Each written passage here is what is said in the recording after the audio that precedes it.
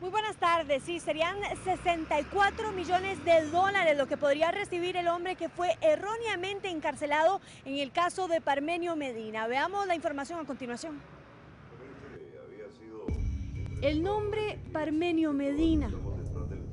El que buscó y usufructuó más su protagonismo y el dinero y la vida bollante que su apostolado como sacerdote que creemos fue muy diferente a lo que practicó. Especialmente cuando incursión, pues muy lejos de cumplir, concluyó como un comerciante vulgar más de la fe y de los negocios.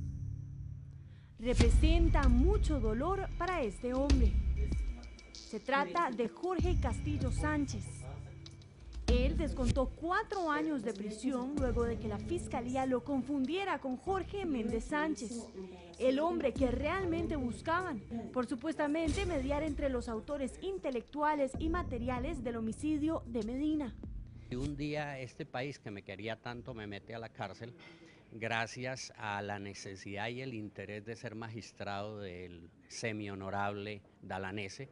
Eh, y obviamente cuando una persona entra a la cárcel se convierte en un cero a la izquierda y pasa a ser básicamente un perro de tercera categoría y pasa a tener que pasar droga en el recto, a tener que aceptar eh, secuestro dentro de la cárcel, a tener que aceptar ser el sirviente de los capos de las drogas dentro de las cárceles. En realidad no hay una manera clara de decir lo que se siente en una cárcel. Castillo era un reconocido empresario.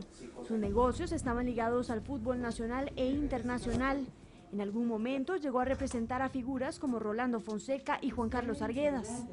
La sala lo declaró inocente en grado de certeza y hoy estamos pidiéndole precisamente a un juez de la República que se establezca una indemnización que sea proporcional al daño y diría yo prácticamente la muerte civil que tuvo don Jorge Castillo porque luego de estar cuatro años detenido, evidentemente ya la vida para él no es la misma. Pero él asegura que su paso por la cárcel lo cambió para siempre. Su familia lo abandonó, perdió su dinero y sus negocios. Y según cuenta, la depresión lo ha llevado a intentar quitarse la vida en dos ocasiones. Lo perdí todo y en este momento prácticamente sobrevivo de los favores de personas a las que durante 25 años yo les serví como empresario. En realidad yo no tengo nada eh, excepto la esperanza de que el gobierno se haga responsable, tanto acá como en la Corte Interamericana de Derechos Humanos, por las torturas, eh, la vejación y eh, todo el daño que me hicieron. Es por esta razón que el colombiano solicita que el Estado pague por el error cometido. Acá no se trata tanto de una indemnización económica, se trata de que el Estado frente a la opinión pública se haga responsable del daño terrible que le hizo a un ser humano y eh, de alguna manera no lo vuelva a hacer porque existen una cantidad enorme de personas en la cárcel que son inocentes.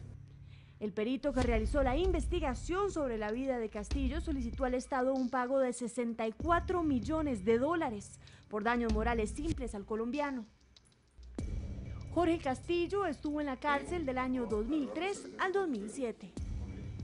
Bien, podría ser en horas de la tarde que se dé a conocer la decisión del juez en torno a este caso. Por el momento, esa es la información que tenemos desde Calle Blanco. Yo soy Aline Raventos para Noticias Repetel.